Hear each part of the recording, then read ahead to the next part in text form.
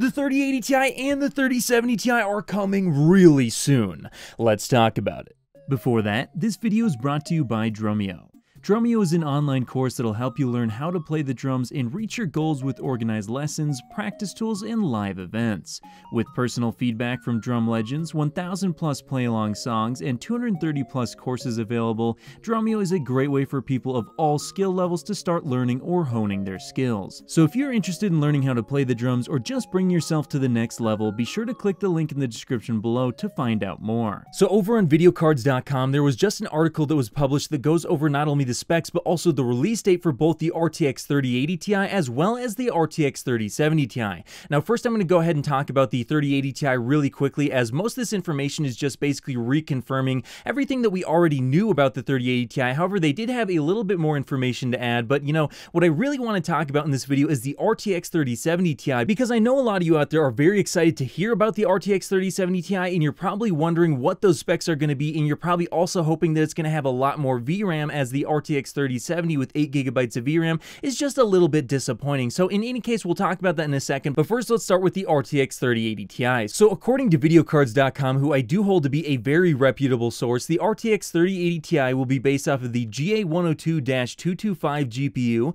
It's going to have 80 GPU clusters. It's going to have 10,240 CUDA cores, which is about 2% less than the 3090. It's going to have 80 RT cores, 320 tensor cores, 112 ROPs, 12 gigabytes of GDDR6X memory running at 19 gigabits per second uh, for a total of 912 gigabytes per second. Looks like they actually got the math uh, wrong there at the bottom once again. And they get that bandwidth by using a 384-bit bus, and that's also the reason as to why it has 12 gigabytes of VRAM, because with a 384-bit bus with 8 or 16 gigabit modules, you have the choice of 12 gigabytes or 24 gigabytes, and of course they're going to want to uh, differentiate the 3080 Ti from the 3090 somehow. So yeah, if you're going to get basically all the performance of the 3090, they're going to at the very least cut the VRAM in half. Uh, but hey, don't worry, the 12 gigabytes of VRAM should definitely be enough for 4K gaming, at least for the near future. And by the time that it's not quite enough, you're probably going to want to be dropping settings anyway, and at least in my opinion. Now, as for the price, they don't actually list it here. However, I'm very confident that you're going to be seeing an MSRP of around 1,000 US dollars.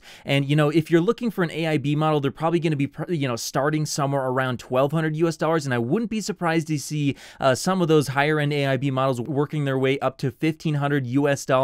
And then, you know, if you want, say, a Kingpin model, that actually might be even a little bit more. But we'll just have to wait and see for sure what happens on the whole price scenario here. Uh, of course, MSRPs don't really mean a whole lot right now unless you can actually get a Founders Edition, which I do believe there is going to be a Founders Edition of this card, but again, I don't really know for sure. Now, as for the release date, it looks like, according to videocardz.com, it is going to be announced sometime around mid-April, and then this was also reconfirmed by Red Gaming Tech recently, and he also said that uh, he thinks that not only is it going to be announced mid-April, but it should be available by the end of April, and that actually does make a whole lot of sense to me. So uh, let's say that they announce it sometime between, say, you know, April 14th to April 18th, and I would expect you uh, to actually be able to at least try and purchase it by, say, around maybe April 26th to around April 28th, though I don't really know for sure. That's just me uh, kind of guessing. But, you know, as for the availability, what I'm expecting out of this card, if you're trying to get one, is that, you know, I do expect it to be a little bit more available than the RTX 3080, uh, not only because it's going to be launch day and there's just going to be uh, a decent amount of them that have likely been saved up, especially considering that this GPU launch has been pushed back, I think, like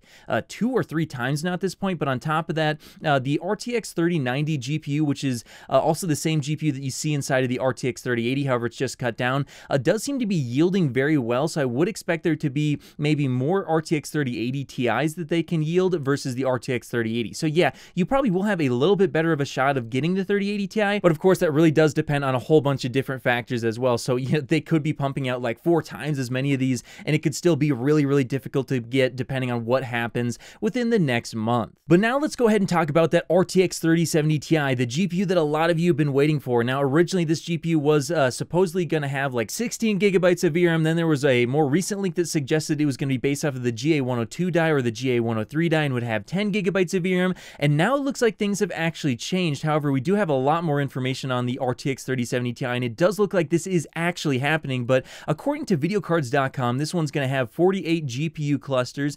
6,144 CUDA cores, which I believe is about 4% uh, more than the RTX 3070. So in terms of performance, yeah, this card probably isn't going to be too much faster. Um, it's going to have apparently 48 RT cores, 192 Tensor cores, uh, 96 ROPS. And here's where things get really weird. Apparently, it's only going to have 8 gigabytes of VRAM. However, it's going to be uh, GDDR6X versus GDDR6.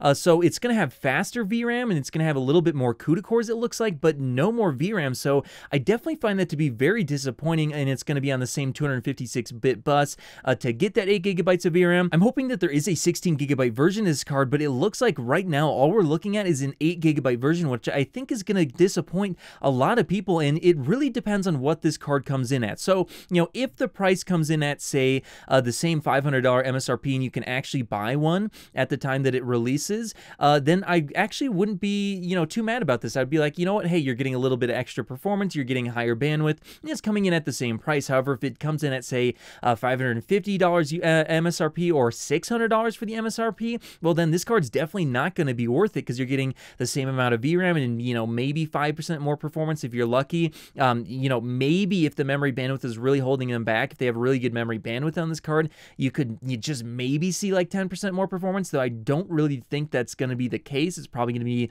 you know, more like 5%, which is very, very disappointing. But, you know, in terms of the release date, it looks like they're going to be announcing this about end of May. Uh, they don't actually necessarily say if it's going to be an announcement or a release date. Uh, I think that they mean an announcement. So yeah, if it's end of May, then you can expect that probably another, you know, two to four weeks after that, then you'll actually be able to purchase this card. But again, uh, with 8 gigabytes of VRAM, I actually find this to be very disappointing. I'm kind of not looking forward to the 3070 Ti as much as I originally was, you know, because if the 3070 Ti had 10 gigabytes of VRAM, that would definitely make it a lot more attractive as it would definitely age a lot better. 8 gigabytes is enough right now, especially if you're playing uh, 1440p, but, you know, as the years go on, it's definitely not going to be enough. And if you're someone who wants to hold on to your video card, yeah, this might not be the card for you. You might want to be starting to look at, say, an RTX 3080 or maybe even a 6700 XT or a 6800 as those cards definitely have a lot more VRAM and are definitely going to be holding up better, at least in terms of the rasterization performance. But hey, either way, looks like we do have pretty much confirmed release dates and specs for the RTX 3080 Ti and 3070 Ti. Now, whether or not you're going to be able to purchase these cards, I don't really know for sure. I think you're going to have a better time with the 3080 Ti. As for the 3070 Ti, um, I'm not entirely sure. I wouldn't be too surprised if it's actually even harder to get that GPU, but again, it really depends on a whole bunch of different factors of what really happens over the next couple of months here. But yeah, uh, either way, you're going to have a couple more chances of new GPU launches so that if you get up early in the morning and you sign up for like an EVGA queue or you're hitting that F5 button, you might actually be able to buy something. And hopefully fairly soon here, things just get a little bit better so you don't have to do that. But yeah, we don't really know what's going to happen. Um, but either way, I'm excited to see these two video cards in action. I'm definitely going to be looking forward to the 3080 Ti. I'm uh, personally going to be trying to get my hands on a 3080 Ti Strix or a uh, 3080 Ti for the Win 3 water-cooled version if I can. I do definitely really like those models for the 3080 and 3090, but who knows if I'll actually be able to get one. But hey, that's just what I think. Are you going to be trying to get a 3080 Ti or 3070 Ti? Let me know your thoughts in the comments below, and of course, I'll see you in the next video. If you made it to the end of the video, be sure to drop a like. Every time you do so, AMD and NVIDIA get more stock. Also, if you want to see more, click here. You won't be disappointed.